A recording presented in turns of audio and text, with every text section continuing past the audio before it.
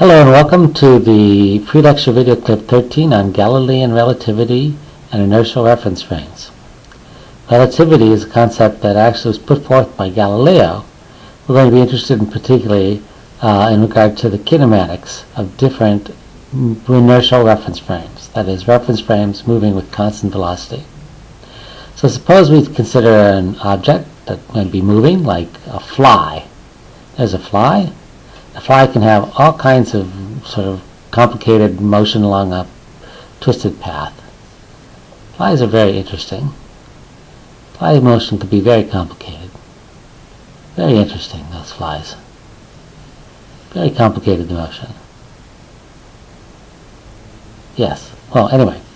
Um, so, if we want to describe the kinematics of the fly, we need a coordinate system. So we put a coordinate system down with the usual uh, labels, uh, x and y and z. And uh, we'll put this coordinate system, uh, label it O as the original coordinate system. The coordinate system which is at rest in the room relative to the fly. When I talk about the position of the fly, I can draw a vector position, which I'll label uh, r. The coordinate to its position. And uh, now if I want to, I can talk about a new coordinate system. I can talk about a, the measurement of the position of the fly as measured by a coordinate system I locate some other location. Call this new coordinate system the prime coordinate system, O prime, with coordinates x prime, y prime, and z prime. And since the coordinate system is displaced from the first coordinate system, I'm going to represent that displacement uh, by a new vector, which I'll label capital R. That's the displacement vector of the old coordinate system relative to the new one. And I'm not even going to displace this plane. I'm going to let this uh, coordinate system move with some given velocity v, constant velocity. So the original reference frame, the rest frame, which is sitting there at rest. It's fixed. And then over here now I have an inertial reference frame, which is moving with constant fixed velocity v at some arbitrary direction and location. So the velocity is constant of the reference frame. And if the velocity is constant, then I can describe the position as a simple linear relationship between that velocity and time. So the position vector is just equal to some r naught plus some constant v times the time, t, just like anything else that moves at constant velocity. So now I want to talk about the position of the fly as seen in the primed reference frame. There it is. I'm going to label that R prime.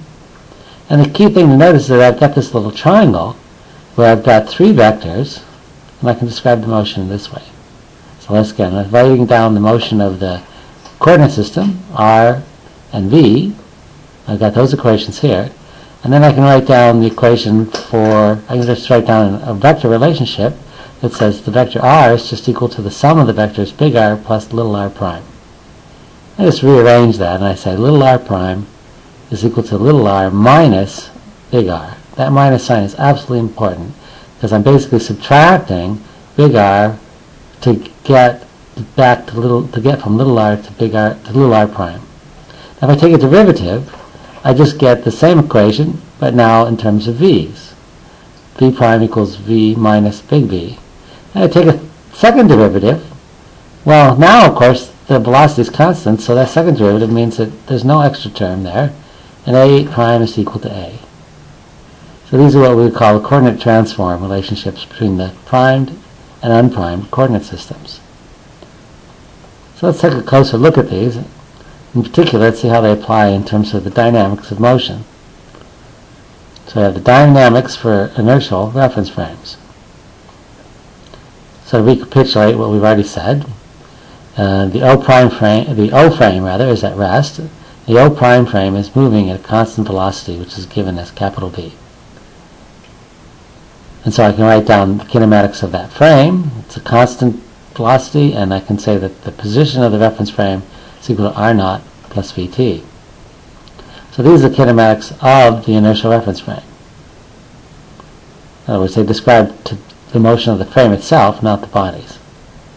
But if I want to talk about the bodies, I can say that the position in the prime reference frame is equal to r minus r capital. The velocity is v minus v capital, and then a is equal to a.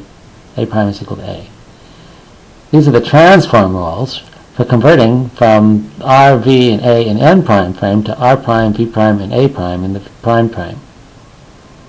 So basically, in, in the original reference frame, if I have a kinematic relationship like Newton's second law, I can say, well, let's look at that in the prime frame. I can write down the same expression with, primes. But notice that since a prime is equal to a, it must be true that the net force in the prime frame is equal to the net force in the unprime frame. In other words, Newtonian dynamics works the same way in every inertial reference frame.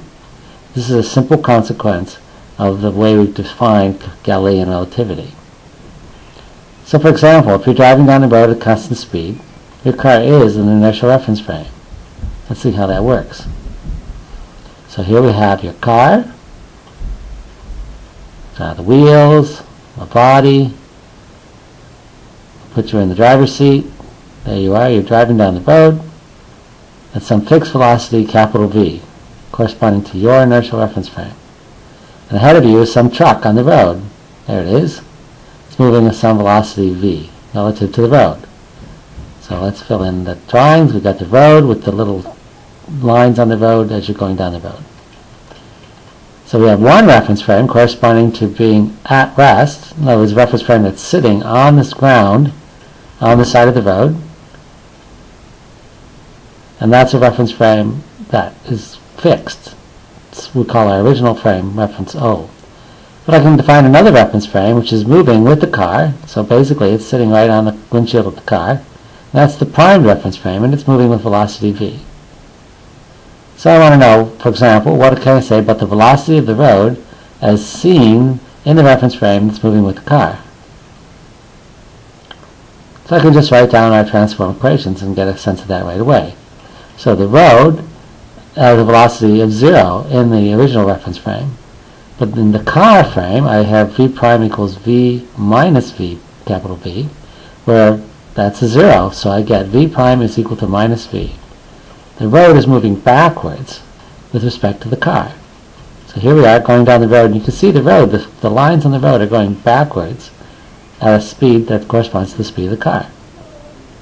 Likewise, if I consider the motion of the truck, say the truck has a velocity which is slightly less, barely less than the velocity of the car, then I can write down the same kind of relationship. The truck has a velocity v, little v, and seen by the car, the plot v prime is equal to little v minus big V. So again, it's a fixed velocity, but with little v slightly less than big V, V prime is negative. The truck will be going backwards.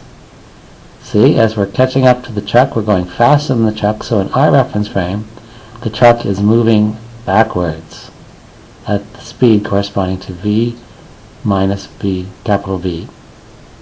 That's an example of an inertial reference frame.